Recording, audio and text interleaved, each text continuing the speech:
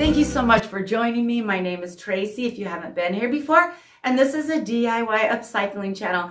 And I recently refreshed my summer wardrobe and I made two colorful tops. They're cotton, lightweight, feminine, and I made them out of dingy old t-shirts of my husband's. When they get dingy or little stains, he gives them to me to upcycle, and I'm going to show you how I made them. I'm taking the V-neck and I'm going to crop it about, I, I'm cropping mine between sort of my chest and my belly button, about right here. And then I'm going to cut the sleeves off.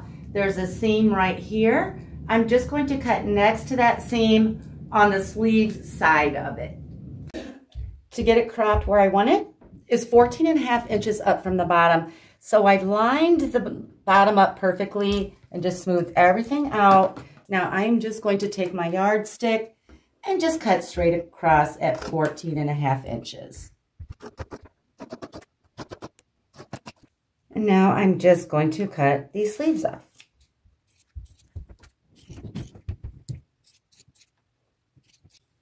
First, I want to make the 8-inch ruffle all the way around. So I'm going to cut my strips at 8.5 inches to give me room for seam allowance.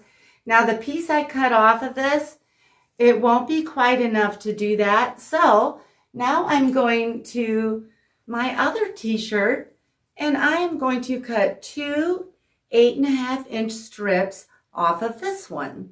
And the first thing I'm going to do is, here's the bottom of that t-shirt. I'm just cutting that hem off. And t-shirts are wonderful in the sense that they do not fray. Now I'm just going to cut this t-shirt open.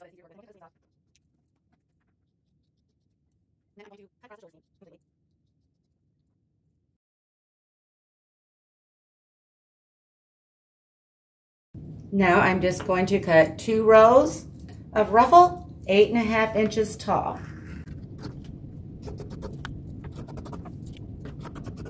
Now I have two strips of fabric that look like this, and I need to sew them together. One would not be enough. Two is probably going to be too long, but I can always trim that off. I am sewing this together just at one end and I am putting right sides together if there is a right side. Mine doesn't matter. Just going to line these up. And with my yellow thread, because I will be dyeing it yellow, I am going to do a straight stitch with a quarter inch seam allowance.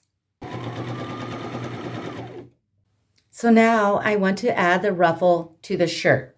Here's the shirt, the V-necks right here. I have it sideways so that I can see it and I am going to start at the side and take my big ruffle and I'm going to lay it right sides together if there is a right side with the ruffle just laying right on top of the shirt like that. Now I'll go to the side and line it up with the bottom and use a quarter inch seam allowance, my yellow thread but I'm going to leave about an inch and a half right here so that I can sew this together when I get to the end. So I'll start an inch and a half in, sew a little bit, do a pinch pleat. I'd say maybe half an inch overlapping, go another inch and a half, overlap it. I want this to be fairly ruffly, so, and just keep pinch pleating it all the way around. And when we get close to the end, I'll show you what I do.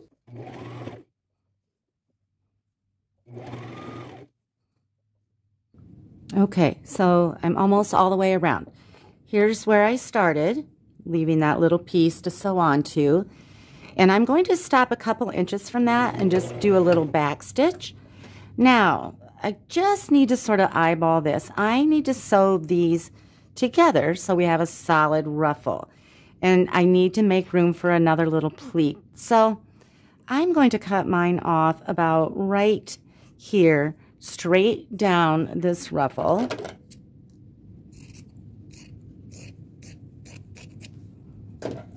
And since I backstitched, now I can pull this out of my machine.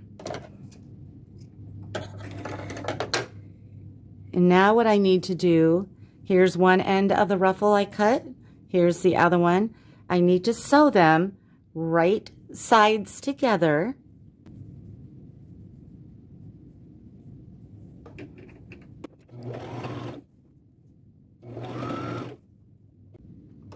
Okay, so now my ruffle is sewn together, but I still have a gap right here that I have to sew closed. So I'm going to put this back into my machine, go over a little bit where I left off, forward and back, and now I'm just going to sew that closed with a little bit of pleating.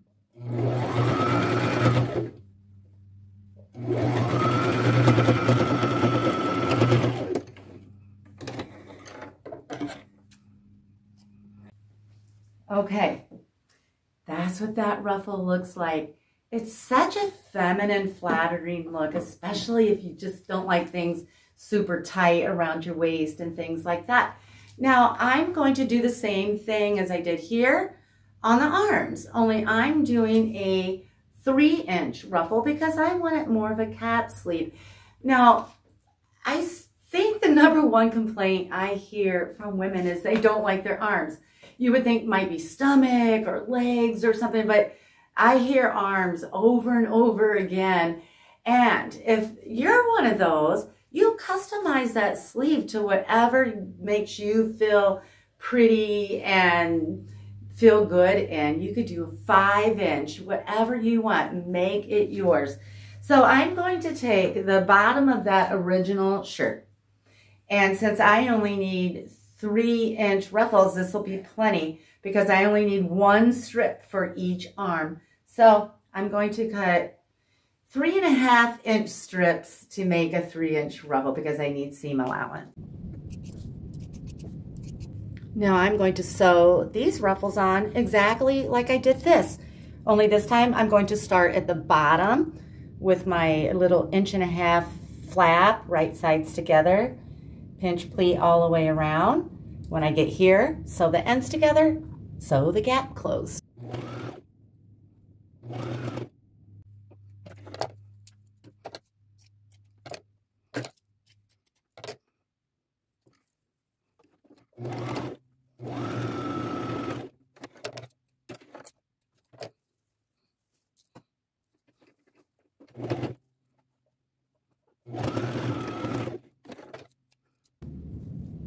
Okay, cute is that already? I mean, these were just two dingy men's t-shirts. So fun. Now, I made two shirts for myself in this similar style, and one I left just like this. These don't fray, and that's super cute. And on the other one, which I'm going to do here, is add another little mini ruffle around the edge of this ruffle and here, just for another pretty detail. So I am finding what's left over of these t-shirts and I am just going to cut a bunch of strips that are three quarter inch wide and then I'll show you what I do. I am not going to measure these. They do not have to be perfect and that would take forever. I'm just eyeballing these strips. Okay, I have about eight strips here. If I need more, I'll cut more and I'll show you how I sew them on. I'm going to do the exact same thing to the sleeves that I do to the bottom. So I am just going to the edge of the shirt and I like starting on the side. And this one you don't have to leave a little flat because when we get back around, we just overlap it. This is the super easy kind of fun part. All right, I'll just stick it in my, in my machine. I will have this ruffle just overlap that edge a tiny bit so that you can't see the edge. And then I will sew right down the center of this ruffle. So I'll start here in my machine with a straight stitch and I'll do lots of pleating. So, pleat, sew, pleat, sew, till I get all the way around and I just overlap it when I'm done.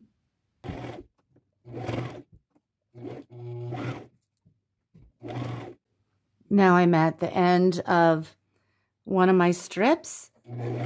I'm just simply going to take the next one, overlap it, keep trucking along. Okay, here's that ruffle detail. So cute. And those eight strips of fabric that I cut, this is all I have left. So that was right on the money. now I'm going to take it upstairs and dye it this Rit Dye More Daffodil Yellow. Now Rit Dye More is typically for synthetic fabrics, but you can certainly use it on natural fabrics. And I just love this color, so that's what I'm going to do. If you don't want to do any dyeing, just find t-shirts that are already a color that you love.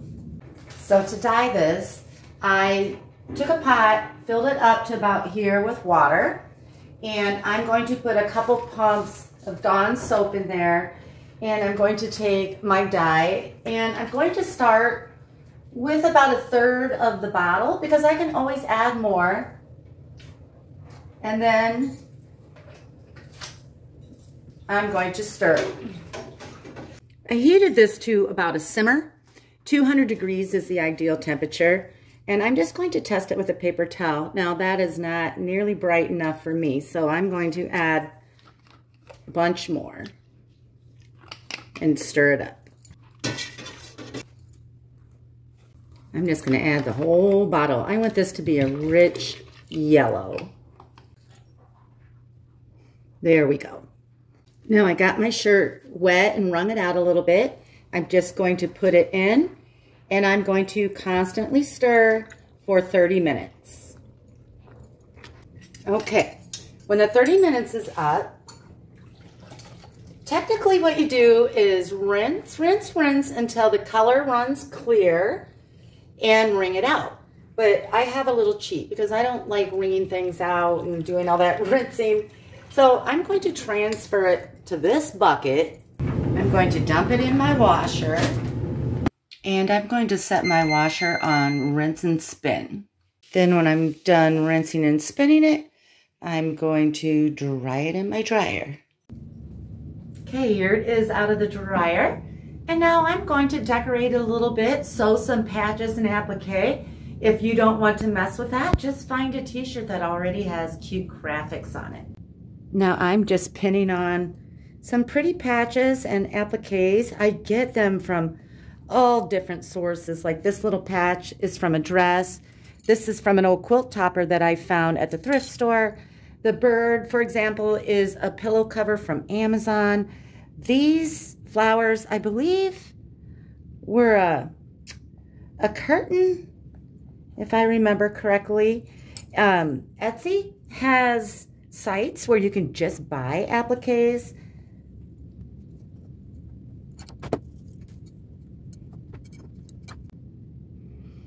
I have a little cutting mat underneath here that I slip between the fabrics so that I can pin it easier. Now I'm on the back. I have a little butterfly that actually came from an Amazon bathroom set, a shower curtain and some mats, things like that. I've used that a lot on projects. Okay, now I have everything pinned on. That's what it's looking like. And now I'm going to go to my machine and with one of my smaller zigzag stitches, I am going to use gold colored thread, not metallic, but like a mustard. And I am just going to go around the edges of everything staying as close to the edge as I can. And when I get that done, I'll put it on and show you what it looks like.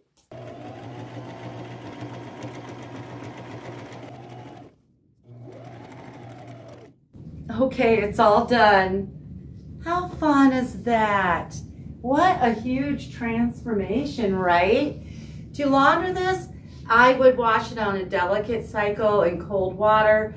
If you like, or put it in your dryer to dry. It may fray more, and my appliques will fray some around the edges to help prevent that. You can back it with fusible interfacing.